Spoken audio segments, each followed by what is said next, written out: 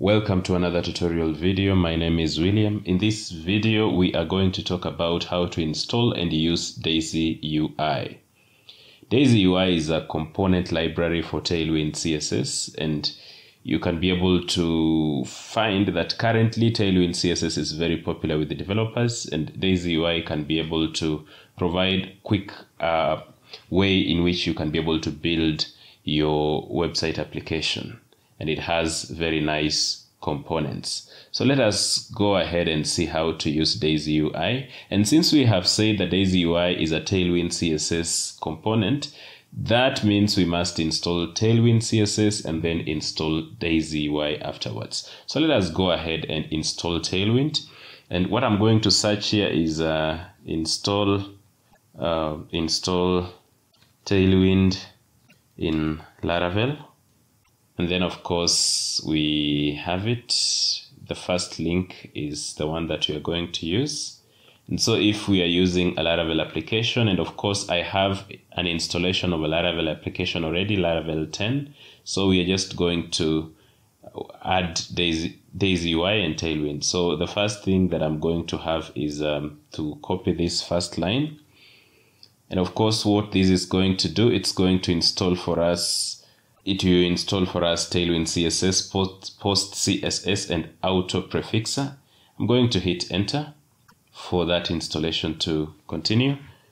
Our installation is complete. I need to cop to run npx tailwind css in init. So I'm just going to copy this and also paste it here to, init to initialize our tailwind.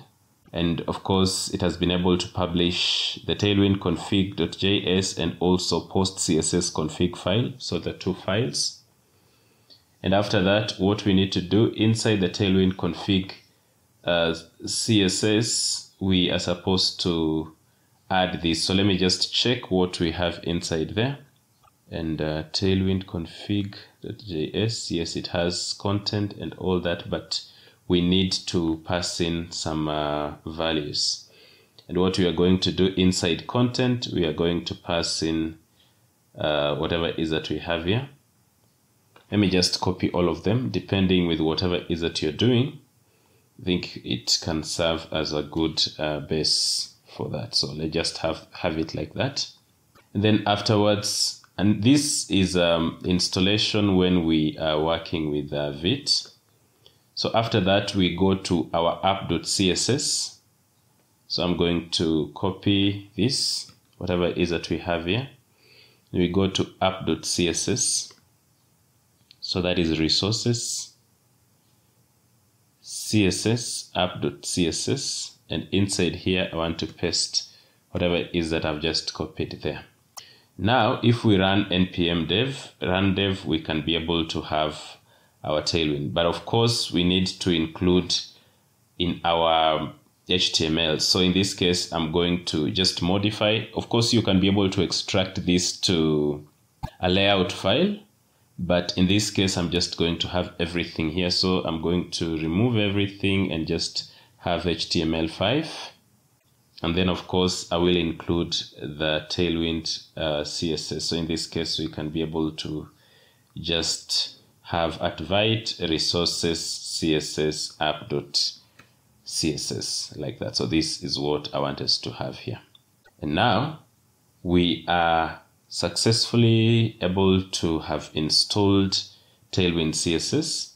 So in this case, even if I'm to have whatever is that we have here, which is um, a Tailwind uh, class inside our body, we can be able to see that something we actually display.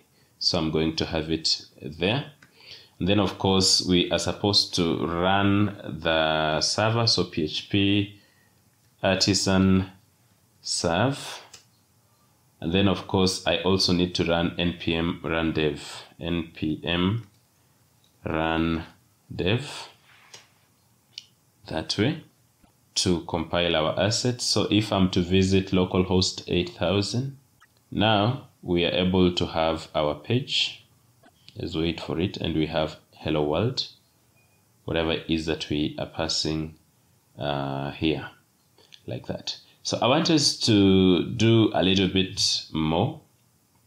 And now go ahead and install Daisy UI. So inside our terminal again, I'm going to just run the command npm i, so Daisy UI that way.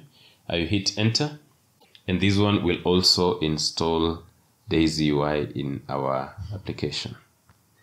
That is completed. I want us to just um, go ahead and be able to customize customize it a bit. So I'm going to go to Daisy UI and then what we need to do is to just put inside the plugins we are going to require Daisy UI. So this is what I'm going to copy just the line inside there.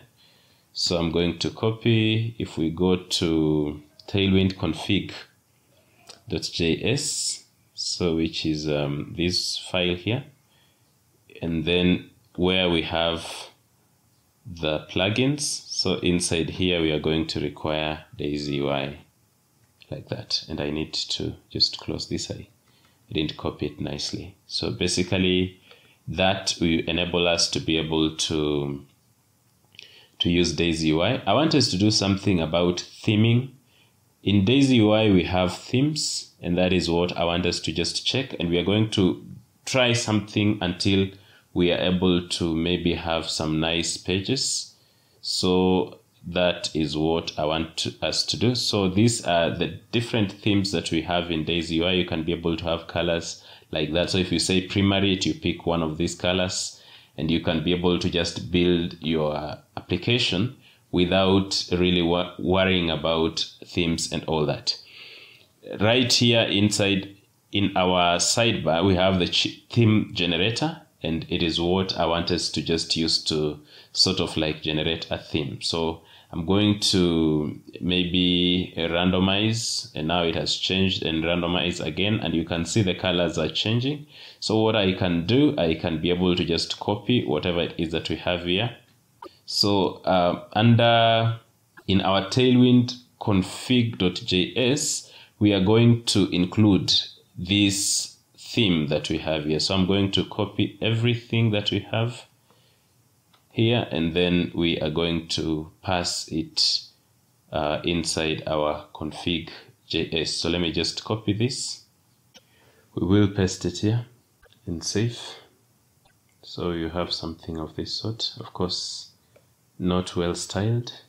Probably I can be able to highlight whatever it is that we have here and move it a bit. Something of that sort. So now I want us to go ahead and see if we can now be able to use the Tailwind CSS, I mean the Daisy UI components.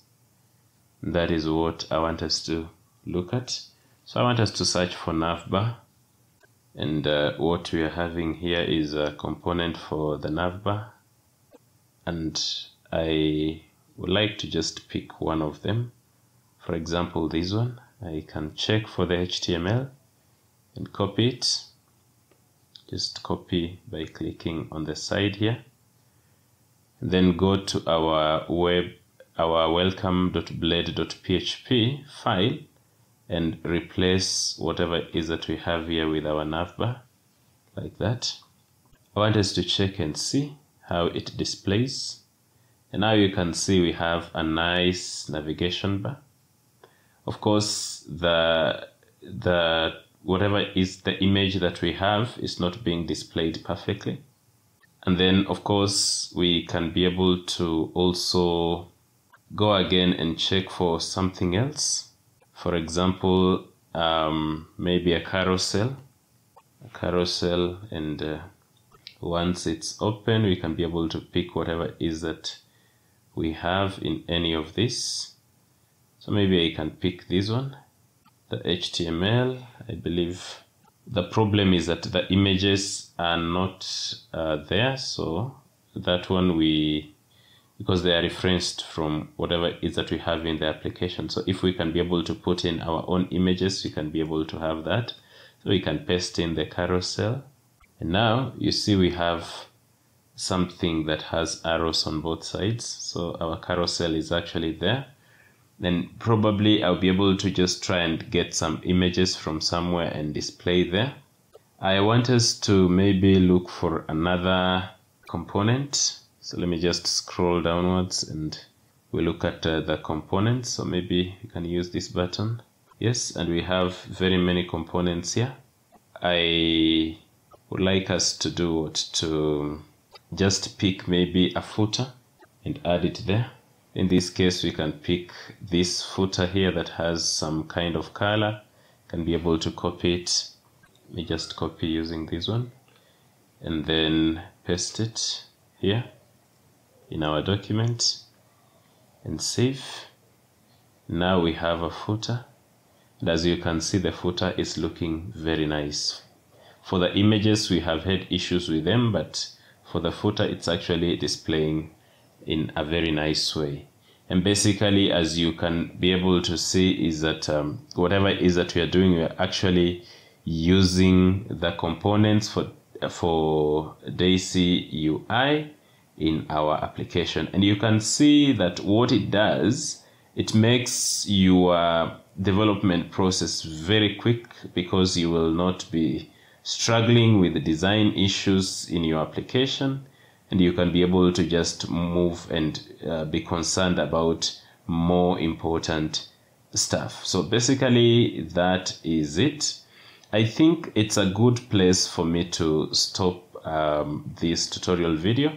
Obviously if you are able to find a way in which to pass some images on our carousel you will be able to find that they will actually be displaying nicely. But even as we try to check on it you can see it's also uh, showing one uh, image to another to another to another like that. Subscribe to my channel. Give a give us a thumbs up if you like the video and you can also share and comment. Thank you very much